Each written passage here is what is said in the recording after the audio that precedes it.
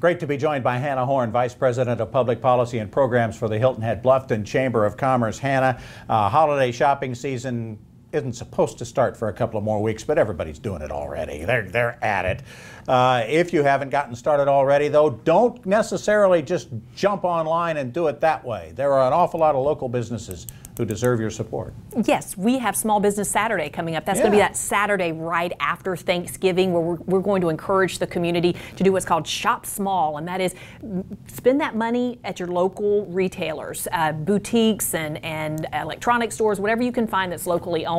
Those dollars, a lot of people don't know this, the dollars that you spend in a local business, more of that dollar stays in your local economy than if you shop at some of the big box or national stores. Not that we don't love their products and sure, services. Sure. But again, whenever you think about impact, Shop Small Saturday. So the Chamber is a community rally partner again this year, and that means that we have selected 10 of our great Chamber members, but we're encouraging all of our other members. Uh, we mm-hmm. put resources out there for them as well, uh, for you to be able to spotlight them and for you to know what products, services, discounts, deals, and steals that they're going to have over the holiday season. And yes. I have some research that I wanted to share with you about holiday shopping. It's quite optimistic for those of you uh, who have already started your holiday shopping, apparently, well, you're, you're above average.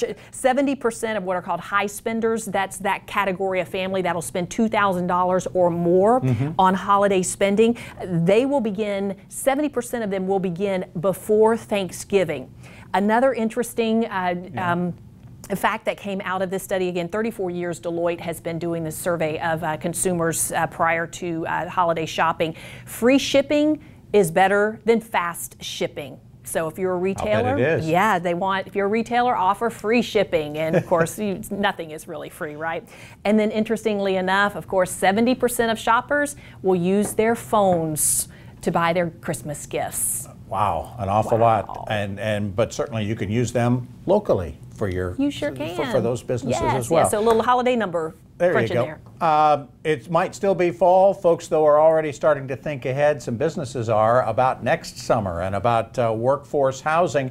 And we've got one uh, group on the island and off the island, in the area anyway, that is, that is already stepping up to offer a very unique solution. And we, we want to help get the word out for yeah. this. Uh, University of South Carolina Beaufort over in Bluffton, you know, they have a beautiful facility there, lots of classrooms and uh, libraries, sports field, but they also have several hundred dorm rooms that sit vacant during the summer. And USCB is stepping up to say, hey, you know what, we could use those dorm rooms for college summer workers. So we're going to be working the chamber with local businesses uh, who may need to hire college students to staff summer jobs. And the big, uh, you know, when, when a college student looks for summer employment, the number one thing that they say is it's not necessarily price because you know or, sure. or uh, you know pay as much as it is the experience that they'll get. Of course, which what is wonderful about the experience sure. here in this destination, but it's about housing. And so if you are a business or know a business that has trouble staffing your college uh, staff,